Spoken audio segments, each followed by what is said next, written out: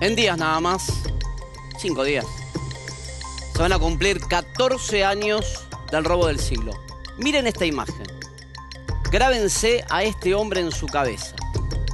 Es el negociador en el robo del siglo. ¿Se acuerdan que la banda simuló una toma de rehenes? ¿Se acuerdan que parte del plan era fingir que lo que estaba pasando era un asalto express? Del otro lado, la policía mandó a su negociador con mayor experiencia, el exteniente hoy, Miguel Sileo. ¿Cómo fue la negociación? Lo primero que vemos en la imagen que tenía Sileo en su poder es un megáfono, como este. Lo tenía que utilizar para comunicarse con los ladrones.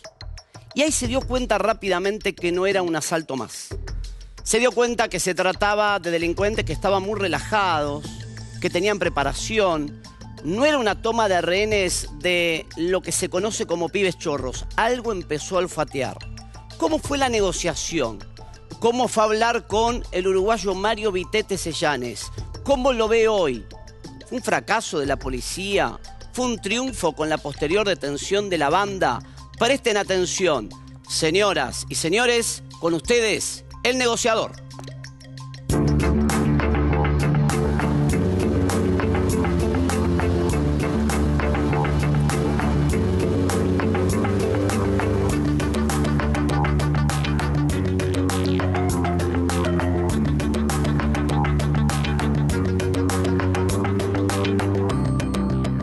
300 metros aproximadamente de- del incidente. Nos ponen en contacto con el policía que habían liberado hace instantes, eh, el policía que cuidaba la entidad bancaria. ¿Qué le llamaba la atención? que hayan liberado al policía, y con el armamento inclusive. Cuando lo liberan, le, le sacan el, el aparato para que nos comuniquemos por medio de ese aparato. Modulo con el aparato abierto yo, y digo, este es el Nestel que está dentro del banco. Sí, ¿quién sos vos? Soy la persona indicada para este, destrabar este conflicto o este problema. Y dentro del banco me contestan, ¿qué sos? ¿El negociador? Entonces eso ya nos, nos puso todo en alerta. Con vos está todo bien, flaco, acércate. Me acerco, veo una silueta que se acerca, gira un sillón, se sienta, se cruza de pierna y me hace seña con el aparato. Nunca habíamos visto una situación donde la persona que yo me iba a enfrentar esté tan distendida. Siempre uno cuando llega a estos lugares es un caos, el tipo está nervioso, se acuerda de toda mi familia y me empieza a contar de que habían ido a hacer un robo express. ¿no? Lo importante acá que, que no lastimen a las personas, que piensen, que se entreguen. Me dice que bueno, que iba a hablar con sus compañeros, que alguno estaba nervioso. Es más, yo le pido, ¿querés que hable con alguno de ellos para tranquilizarlo? Y dice, no, no, no, vos manejala afuera que yo la manejo adentro. Y el hombre traje gris, era muy irónico. Después supimos quién era. ¿no? Entonces yo ironizaba con él. Yo le decía que eso es tan feo que no me quedé mostrar la cara, una cosa así, ¿no? Me envía el primer, a la primera persona que libera, Todo esto fue para ganar tiempo, que es lo que necesitaban. tal cual.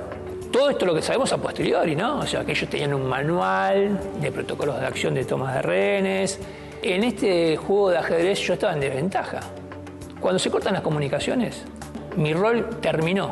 Entonces entro al banco, cuando el comandante da la orden de entrar, yo me dirigí directamente con las personas que estaban en- dentro del equipo mío al subsuelo.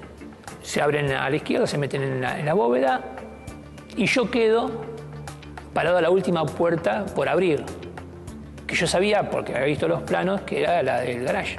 No había escuchado gritos, no había escuchado disparos, así que lo más probable es que estén acá adentro. Y realmente es como dicen todos, que la vida pasa frente a los ojos de uno, porque realmente sabe que va a entrar al combate y usted es el primero.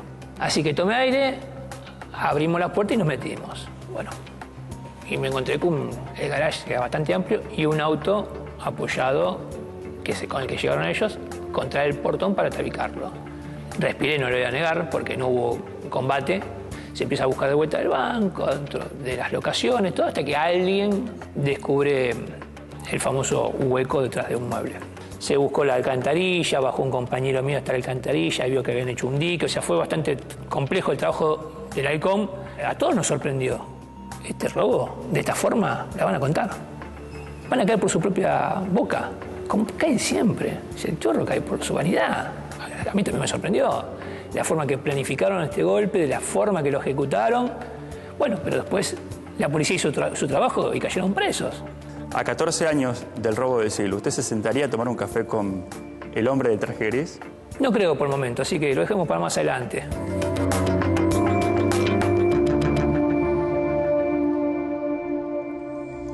Fue claro, ¿no? El exteniente Sileo dice yo no me sentaría a tomar un café con ninguno de los delincuentes. Agradecer a Germán Condotto que hizo esta entrevista. Y mañana vamos a volver al banco con uno de los delincuentes. El hombre del delantal vuelve al banco. 14 años después vuelve al banco que robó. Mañana el informe completo.